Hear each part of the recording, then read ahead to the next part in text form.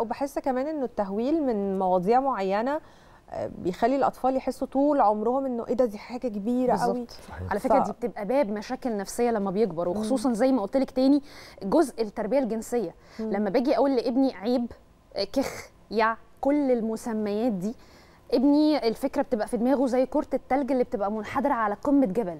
بتلاقيها وهي نازلة عمالة تكبر تكبر تكبر. فالموضوع بيبقى بالنسبة له كل ما بيكبر كل ما بيبقى عنده عزوف ناحية الحاجات دي فبنلاقي مشاكل نفسية عند مرحلة الشباب المقبلين على الزواج. انهم مش عايزين يتجوزوا. ليه؟ علشان الحاجات دي عيب أو دي مقرفة. فبديهم إشارات ناحية أماكن خاصة في جسمهم إن هي لأ عيب وغلط ومقرفة. فبيبقى عنده عزوف عن العلاقة أصلا الحميمة اللي ربنا سبحانه وتعالى شرعها. فأنا أنا باخد بالي من أفعالي ومن كلامي ومن كمان تعبيرات وشي وأنا بوصف أو بتكلم مع الطفل في حاجة محتاج إن هي توصل له ببساطة عن كده. بل بالعكس أنا بقوله دي الأماكن الخاصة في جسمنا ودي أماكن غالية جدا ومهمة فأنت محتاج إن أنت تحافظ عليها. زي بالظبط لما بيكون عندك هدية جميلة.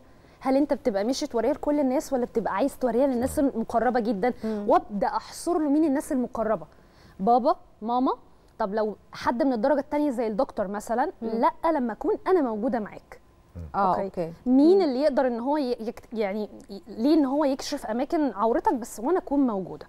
فبالتالي آه، إيه الفرق بينه وبيني وبين أختي. أنا هنا هدي مساحة لنقطة قبلها الخصوصية. مم. الأمهات اللي بتغير للأطفال قدام بعض. ابني جاله السؤال ده منين؟ لما شاف. فبالتالي إيه الفرق؟ أنا هنا محتاجة إن أنا قبلها بخطوة إن أنا أحمي ده. ممكن إن أنا ممكن تروح تجيب لي الحاجات بتاعت أختك عشان أنا أغير لها بعد إذنك. أنا بحب إن أنت تساعدني قوي. في الوقت ده أنا أكون غيرت الحفاض. تمام؟ مفيش إن هما بياخدوا شاور هما الاثنين مع بعض. الفصل. ومفيش إن هما الاثنين نايمين جنب بعض. الفصل. أوكي؟ وأفرقوا بينهم في المضاجع. ما أنا ما أجيش أنا أستفز ابني بالأفكار دي وبعد كده ألوم عليه. أنت شفت حاجة؟ هو أنت بتتكلم إزاي وتبدأ في أمهات بتجيلي في مشاكل تقولي ما بقعدهمش يلعبوا مع بعض؟ بخاف. لأن هو بدأ إن هو يسأل. فمعنى كده إن هو بدأ ممكن يستكشفها.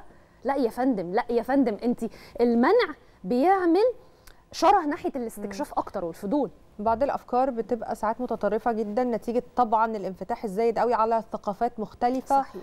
فللأسف للأسف بقت بتدخل لنا إحنا بما لا يتناسب مع ديننا ولا ثقافتنا. النهارده إزاي أرد على الأسئلة دي أو النوع ده من الأسئلة؟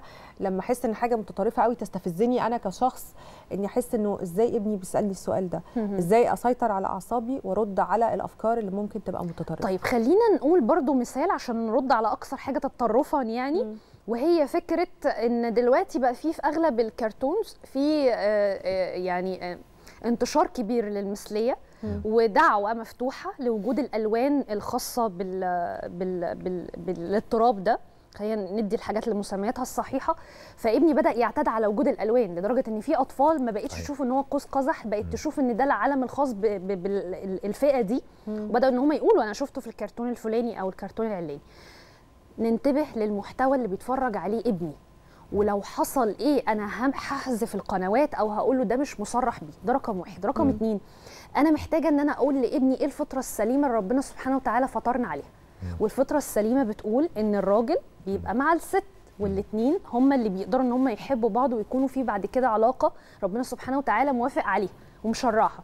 بخلاف كده لا دي علاقة غلط وربنا سبحانه وتعالى نهى عنها تماما وليها عقوبة عند ربنا. طب ليه يا ماما؟